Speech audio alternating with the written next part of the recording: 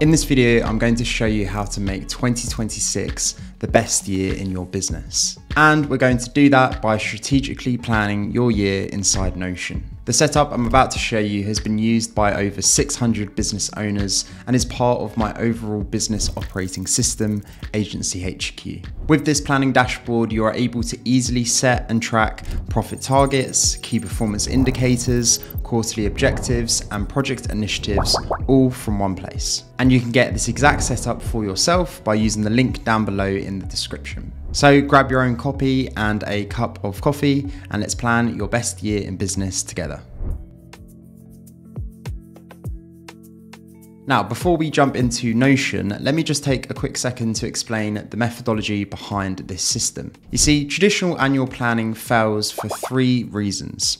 It's too long to be predictable, too short to be truly meaningful, and too hopeful because we're often planning in December when we're overly optimistic about what we actually can accomplish. So instead, I use a methodology adapted from Ryan Deiss for small service based teams, and here's how it works. Instead of annual planning, you set a three year revenue and profit target. And then you break that three year target into 12 quarterly chunks that are adjusted for seasonality. Once we have these three year targets in place, every 90 days is where the real work happens. We set quarterly sprints of the actual work we want to get done, and we use the 333 framework to do this. We choose three key metrics or KPIs to move towards in the quarter. We then create three objectives that align to those metrics and then execute three projects under each objective. That gives us a total of around nine projects all rowing in the same direction towards our three year vision. The beauty of this system, you're not waiting 12 months to see if your plan worked.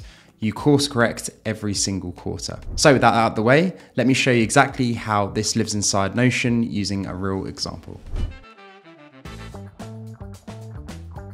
All right, to walk you through this, let me introduce you to our fictitious example, Marketing Lab. They're a three person marketing agency currently doing around 200K in annual revenue. Let me show you how they would use this planning dashboard. So inside your dashboard, you'll have a planners page with two main views. We have one for the three year plans and for the quarterly plans. So to start, I'll click new page and I'll call this three year plan the dates it sits within, which would be 2026 to 2029. And as you can see, we also have a database template, which gives us an exact structure to follow. The first thing I need to do is a bit of housekeeping. So just for this entry here, I need to make sure that I've also got the start date and end date. So that's again 2026 to 2029. And now we are ready to begin filling out this three year plan. So as we know, if we come to edit, the current sales or the current revenue of Marketing Lab is 200,000 and the current annual profit is actually 40,000.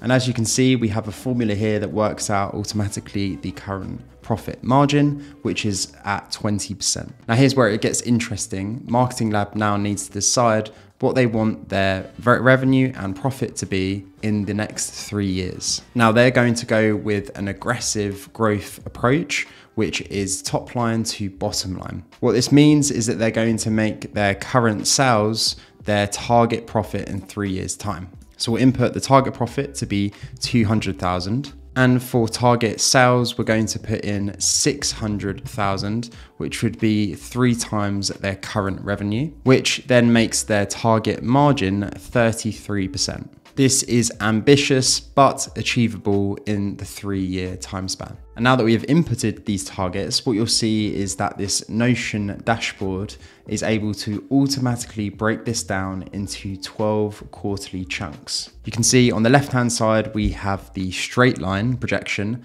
and this shows what they would need to hit each quarter if growth was perfectly linear. So in Q1, they would need to have 55K in sales and 18, around 18K in profit and then all the way down to Q12, they would need to be making around 156K or 157K and 51 or 52K um, in profit. Now, obviously, growth is never a straight line, but this gives us a baseline. But Marketing Lab knows their business patterns.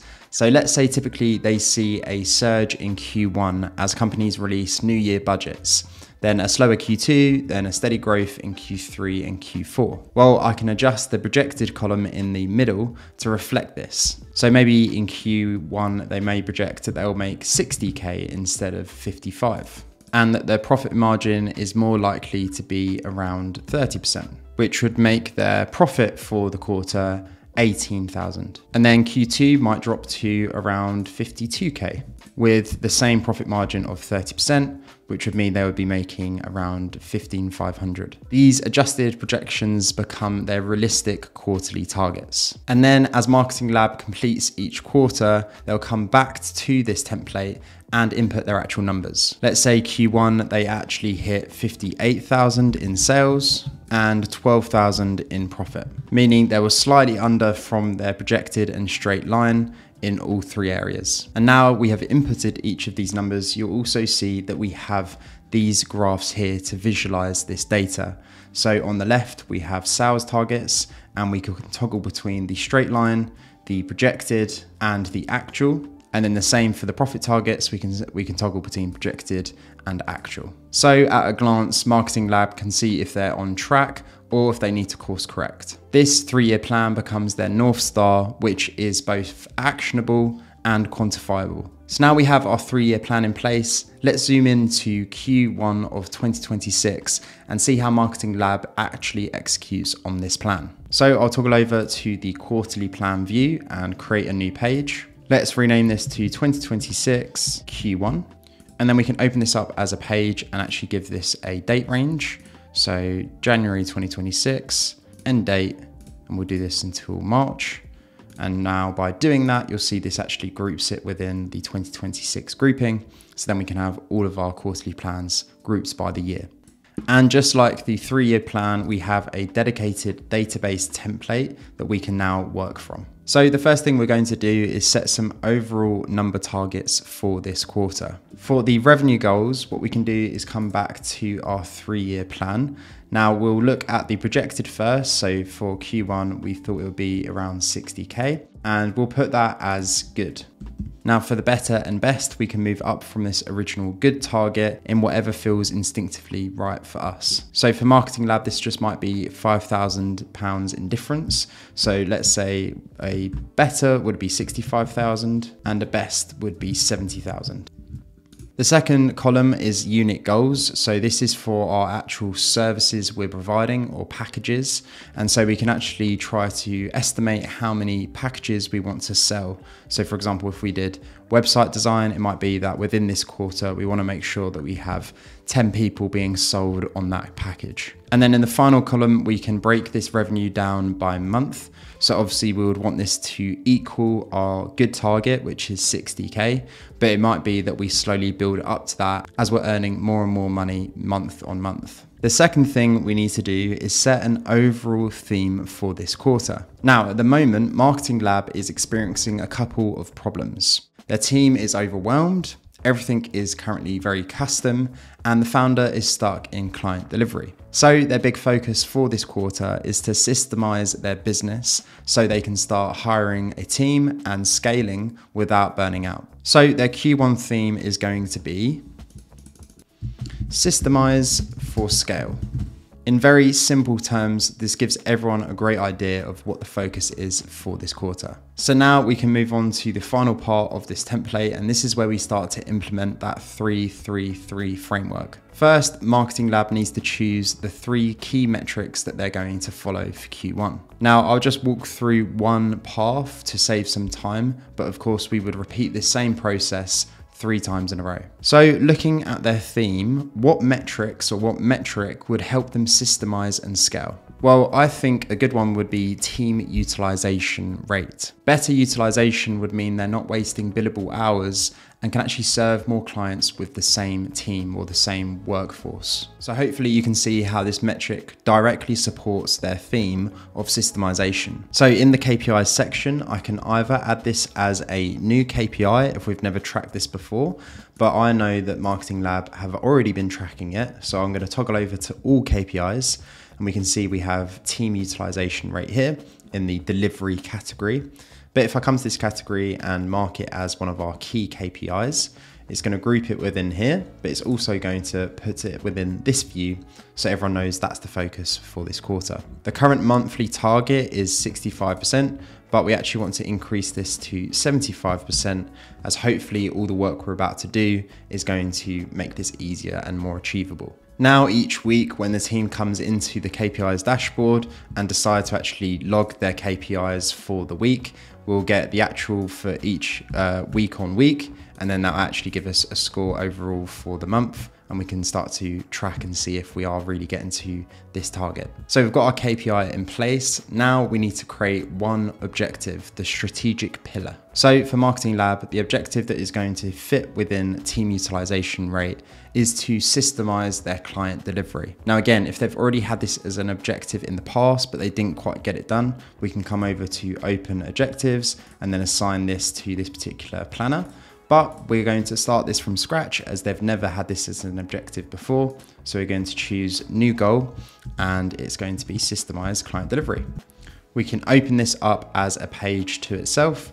We can assign who the owner is going to be. Let's say it's just me and it will automatically be related to this planner. So now when we come back to the planner, we can see it sitting inside here as well. So we've got our KPI, we've got our objective below the KPI. The final thing to do is to set the project initiatives and we're gonna aim for around three projects. So to create this, I'm going to open the objective again and toggle over to this project initiatives view. And here I can add the specific projects we're going to action this quarter for this objective. So for example, the first project might be something like setting up the client team space inside of Notion so everyone can work from it. The second project initiative might be creating all of the SOPs, templates, and checklists that are going to help us start to assign work to others so we can have that as an objective as well. And then finally, we may also want to get serious about implementing a team operating system or a set of ways of working where we have things in place that everyone knows what they need to do and how to do it. So we'll add that as an objective as well for the team operating system. Of course, within each project initiative, we have the opportunity to add the overall deadline. So let's say we want to finish this by the end of January. We can have an overall owner, let's say it's myself again.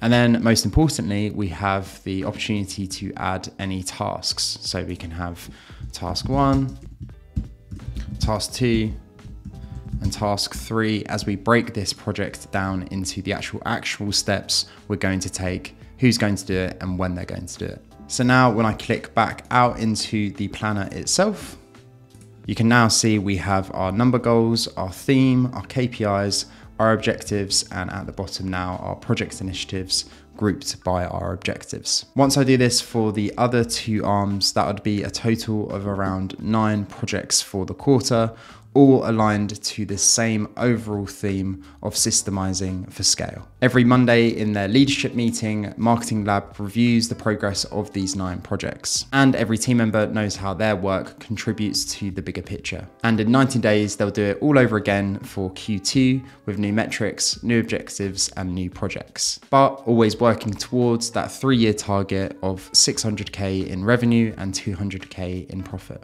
And just like for the KPIs, the rest of the team can see these actual objectives and project initiatives from within your goals dashboard. They can see the overall progress, they can see who's working on what, and then of course the actual tasks within the project initiatives can be seen on your tasks dashboard as well. Here's what makes this so powerful for small service businesses like Marketing Lab. First of all, it's focused. They're not trying to do 50 things. They're doing nine things really well, all pointed towards the same specific metrics. Secondly, it's realistic. They adjusted their quarterly targets to match their business seasonality.